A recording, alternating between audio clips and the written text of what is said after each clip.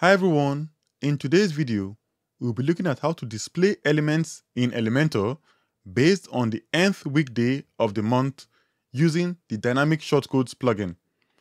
So for example, let's say you want to display this section based on the fourth Tuesday of the month. So let's see how we can do it using the Dynamic Shortcodes plugin.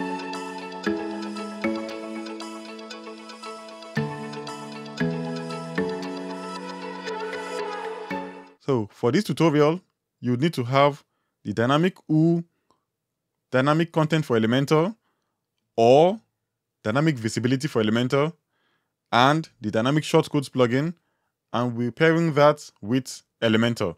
So now let's see how quick and easy we can do it. I'll also show you other things you can do with dates. You can pull in any dynamic dates that you want using the dynamic shortcodes plugin. For further information, you can check the dynamic shortcodes article. I'll leave a link to it in the description below where you can go and see other things you can do using dates with the dynamic shortcodes plugin. Now let's go over to the Elementor edit page. So here we are on the Elementor edit page. First, let's go ahead and see some of the cool ways you can manipulate dates using the dynamic shortcodes plugin. So I'll go ahead and drop in a heading widget. Then I'll click on the dynamic tags and choose the dynamic shortcodes. Then I'll click on the wrench icon. And now the way we manipulate dates is by opening the curly brace, then type in date with the colon, and then we'll put in the identifiers we want.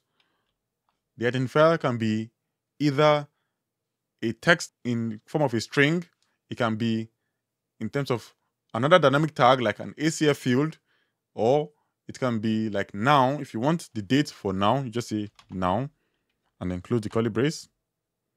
And it will give you the date, which is the 25th of June. If you want the date for tomorrow, just put tomorrow and close the curly brace. That will give you the date for tomorrow. And you can see some other cool things which you can do with the dynamic dates when you go over to the demo shortcodes. So you can see you can add, let's say you want to add 10 minutes from now, you can put that here and then you can specify the kind of format you want. If you just want to only show the year, use at format equal to year. And if you want just the month, you see at format equal to month.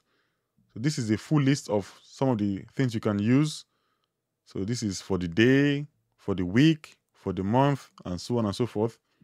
But that's if you want to get a specific date. But if you want to then use the text to say the fourth Tuesday of the month, you just literally have to type in this text. So rather than writing tomorrow, since it is more than a single text, then you have to put it in inverted commas or quotation marks.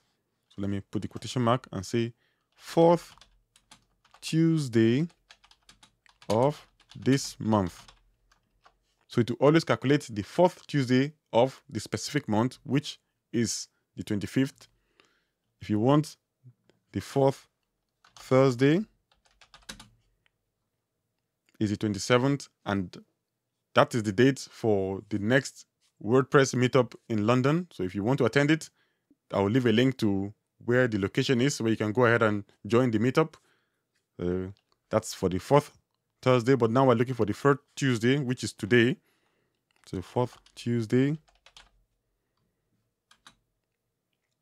So now that we know how we can get this date, all we have to do now is use this date inside a condition that will now help us to show or hide this section. And fortunately, we can either use dynamic visibility for Elementor, which is free, or dynamic content for Elementor, which is the pro version. Both of them will work for you. There are slight differences, but they will both work. So now let's see how we can do it. So this is the first one. The second thing we need is the date for now. Date now. As you can see, both dates are the same. So all we have to do now is basically look for a way to compare these two dates to form the condition for showing or hiding our section. So this is the section. with the dynamic visibility installed, I just see it here, visibility.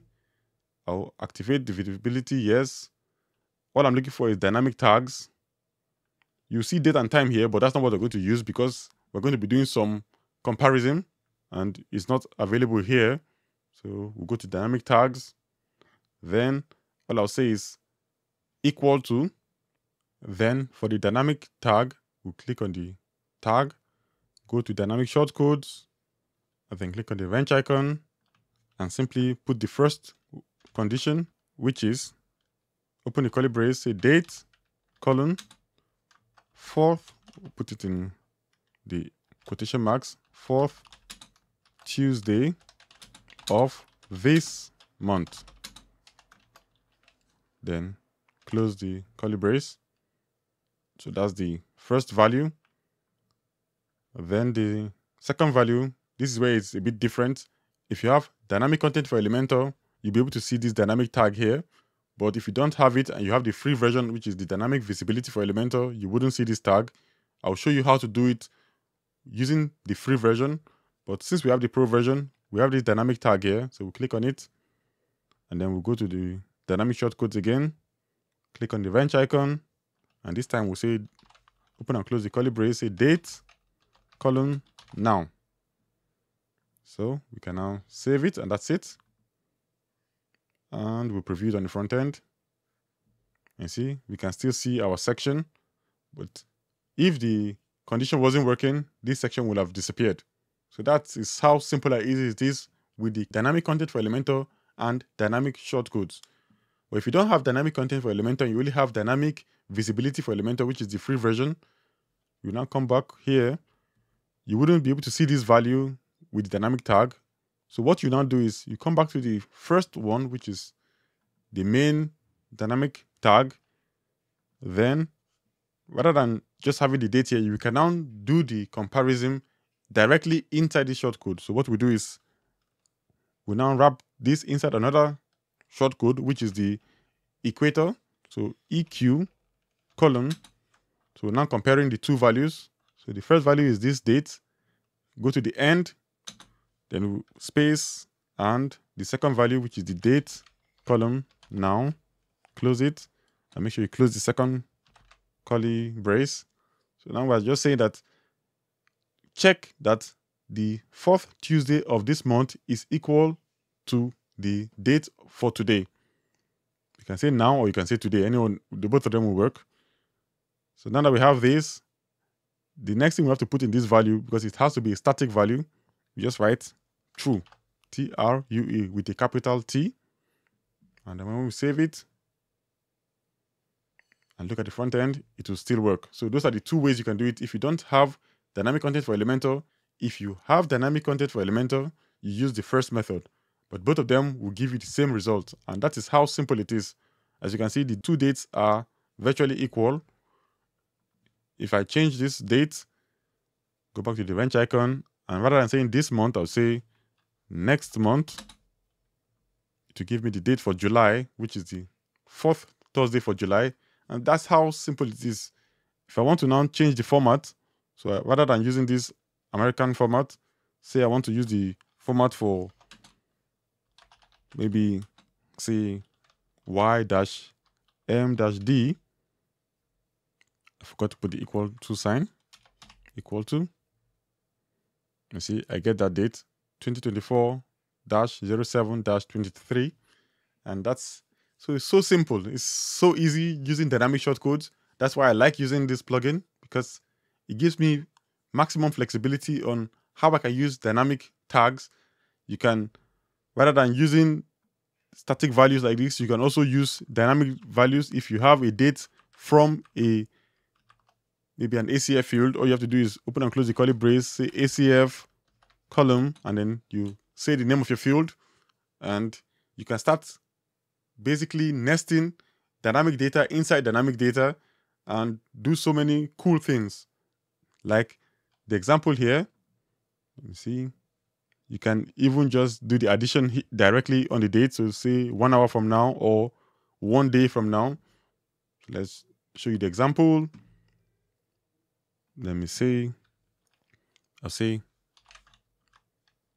date colon, then put the string plus three days, close it. And then it gives me three days from today. So yeah, if you've liked this content, please do leave a like, write in the comments that you like the content. And if you want to support me, you can buy the Dynamic Shortcodes plugin using the affiliate link, which will be in the description. And I'll continue doing more content using the Dynamic OO plugins. And I'll see you in the next one. Bye.